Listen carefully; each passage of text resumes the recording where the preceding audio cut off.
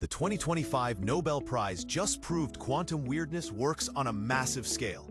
This changes everything. For the first time ever, scientists have been awarded for demonstrating quantum tunneling, not with tiny atoms, but with entire engineered circuits.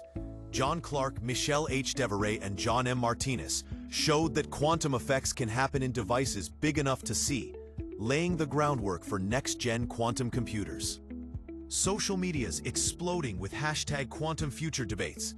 Because now, quantum mechanics isn't just microscopic science anymore. The Nobel Committee calls this breakthrough a cornerstone for tomorrow's quantum technologies.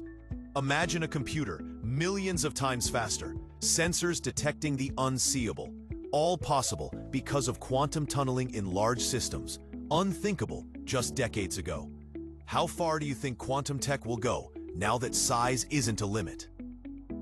Drop your predictions below. If quantum rules apply everywhere, tomorrow's science fiction might just be today's physics. Are you ready for the quantum leap?